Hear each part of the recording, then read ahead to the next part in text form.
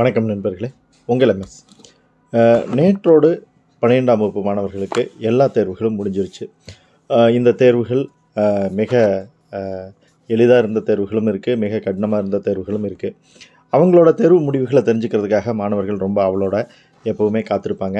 இதற்கான paper valuation வரக்கூடிய மே பத்தாம் தேதியிலேருந்து ஸ்டார்ட் ஆகுது.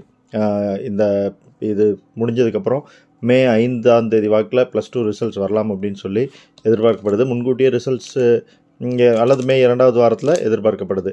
எதனால் அப்படின்னு பார்த்தீங்கன்னா அப்போ தான் அட்மிஷன்ஸ் போடுறதெல்லாம் வந்து ரொம்ப ஈஸியாக இருக்கும். இந்த வருஷம் தேர்வுக்கு மிக கடுமையான கட்டுப்பாடுகள் விதிக்கப்பட்டிருக்கு. லேட்டாக வரக்கூடாது அடிக்கடி வெளியே போகக்கூடாது.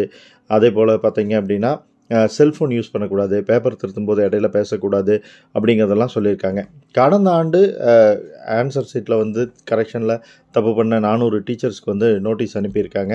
அது ஆசிரியர்கள் மத்தியத்தில் பயத்தை ஏற்படுத்தி இருக்கிறதா சொன்னாலும் கூட மாணவர்களுக்கும் ஒரு வகையில் அது கொஞ்சம் ஒரு திருப்தியாக இருக்கும். இந்த வருஷம் நல்லா பண்ணுவாங்க அப்படின்னு சொல்லி எதிர்பார்க்கலாம். ஏன்னா மாணவர்களுடைய எதிர்காலம் அப்படிங்கிறது வந்து ஒரு மதிப்பெண் மாறினாலும் மாறி போயிடும் அப்படிங்கிறதுனால ஆசிரியர்கள் கட்டாயம் இன்னும் கவனத்தோட திருத்துவாங்க அப்படின்னு சொல்லி இந்த வருஷம் எதிர்பார்க்கலாம்.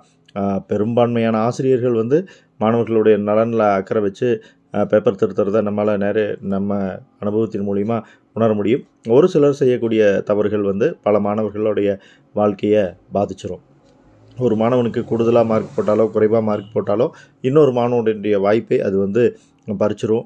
தங்களுடைய குழந்தைகளுடைய எதிர்காலம் அதுபோல் பாதிக்கப்படும் அப்படிங்கிறத அந்த தவறு செய்யக்கூடிய ஆசிரியர்கள் மட்டும் உணர்ந்து திருத்தினாங்க அப்படின்னா எல்லாமே நல்லாயிருக்கும் கண்டிப்பாக இந்த ஆண்டு நல்ல ரிசல்ட்ஸ் வரும் அப்படின்னு சொல்லி நம்ம எதிர்பார்க்கலாம். உங்களுடைய ரிசல்ட் எப்படி வரும்னு எதிர்பார்க்குறீங்க?